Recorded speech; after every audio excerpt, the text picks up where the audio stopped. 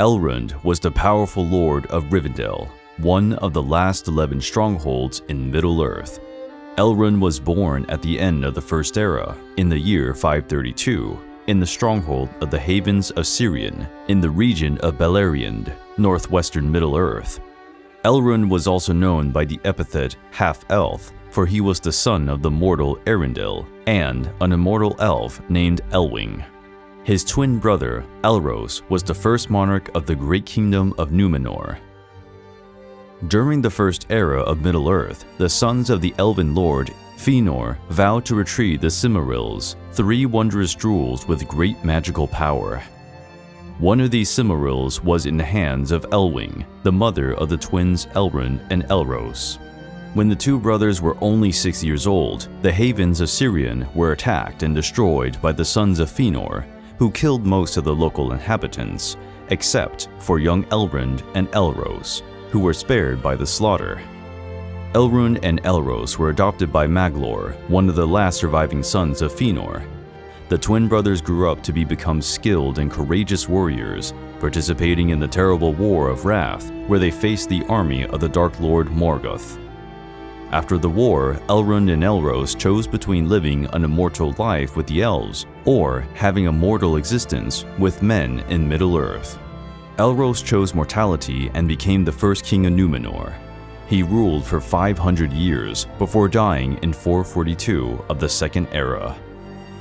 For his part, Elrond chose an immortal life and inhabited the kingdom of Lindon in the court of Gil-galad, the last king of Noldor.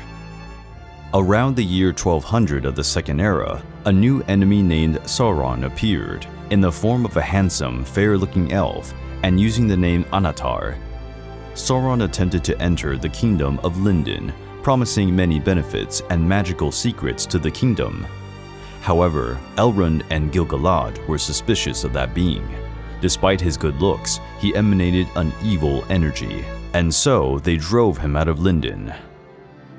But other elves from the kingdom of Eregion were eventually seduced by Sauron's promises and let him into their lands. Sauron convinced the elves of Eregion to forge the Rings of Power, which were used to be as powerful weapons for each race that possessed them. In 1695 of the Second Era, Sauron gathered his evil armies and attacked the elves' homeland of Eregion. It was the War of the Elves and Sauron, Gil-galad sent Elrond, along with a troop of brave elven warriors, to help defend Eregion. Unfortunately, Elrond's army arrived too late and was not large enough to defeat Sauron's troops. After the defeat, Elrond retreated as far north as the refugees, reaching the valley of Rivendell. A kingdom was established there, and in 1697 of the Second Era, it became his new homeland of the Elves, Elrond was the ruler of Rivendell, the last homely house. Gil-galad is said to have offered the Vilya ring, also known as the Ring of Air, to Elrond. Near the end of the Second Era, Elrond rode alongside Gil-galad in the last alliance of elves and men, which left Rivendell for Mordor. The alliance, which also included elves of Lothlorien, men of Arnor, and Gondor, and dwarves, defeated Sauron's army at the Battle of Dagorlad. In this battle, Sauron was defeated.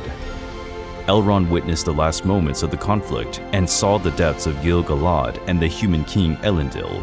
When Isildur, Elendil's son, cut the One Ring from Sauron's hand at the end of the battle, Elrond advised him to throw the ring into the flames of Mount Doom to destroy it once and for all.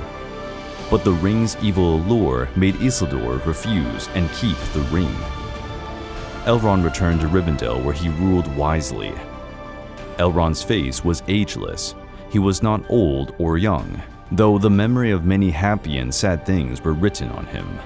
His hair was dark as the shadow of twilight, and over it was a silver ringlet.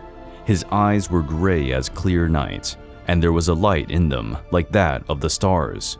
Venerable in appearance, he looked like a king crowned with many winters, but still vigorous as a warrior in the fullness of his strength. This is how Elrond, the Lord of Rivendell, is described. During the Third Era, Elrond participated in many important events in the history of Middle-earth. He sheltered Isildur's heirs while the lineage lasted. The most famous of these sons of men was Aragorn, whom Elrond took in and raised as his son. Aragorn grew up in Rivendell without knowing his royal lineage until, as an adult, Elrond told him the truth. Elrond was also a great friend of wizard Gandalf the Grey. At Gandalf's request, Elrond helped the expedition of the dwarf Thorin Oakenshield to retake the Lonely Mountain. Elrond told Thorin that the swords he had taken from the Cave of the Trolls were an elven fabrication. Their names were Glamdring, it would be wielded by Gandalf, and Orcrist, it would be wielded by Thorin himself. Elrond also deciphered the moon letters, which could only be read under moonlight on the Lonely Mountain map. This information was vital for the dwarves to enter the mountain through the secret entrance. When Frodo Baggins left the Shire to take the One Ring to Rivendell, Elrond sent riders to guide Frodo to the Elven fortress. Elrond also helped treat the wound Frodo suffered in his shoulder, the victim of a Morgul knife wielded by one of the Nazgul, spectral beings in the service of Sauron. Elrond slowed the poison of the blade and prevented it from spreading to other parts of Frodo's body. Elrond healed Frodo for the most part, but the wound never completely scarred. At a meeting that became known as the Council of Elrond, with the wizard Gandalf, the elf Legolas, the dwarf Gimli, the hobbit Frodo, and the humans Boromir and Aragorn, it was decided that the One Ring should be destroyed where it had been forged, on Mount Doom in Mordor. Elrond agreed that Frodo Baggins should carry the ring on the journey, assisted by eight other companions, forming the Fellowship of the Ring. Elrond remained in Rivendell until the destruction of the Ring and Sauron's death in the War of the Ring. He then traveled to Minas Tirith for the wedding of his daughter Arwen to Aragorn, now King of Arnor and Gondor. Initially, Elrond disapproved of Aragorn and Arwen's relationship because such a union meant that Arwen should give up her immortality and live until she died in Middle-earth. But Elrond eventually respected his daughter's decision and blessed her marriage to Aragorn. Three years later, at the approximate age of 6,520, Elrond left Middle-earth to cross the sea, along with Gandalf, Galadriel, Frodo, and Bilbo. They set out for the immortal lands of Valinor, where they would meet many of Elrond's former relatives. Elrond's departure was the end of the elves' days in Middle-earth and the beginning of the Age of Men.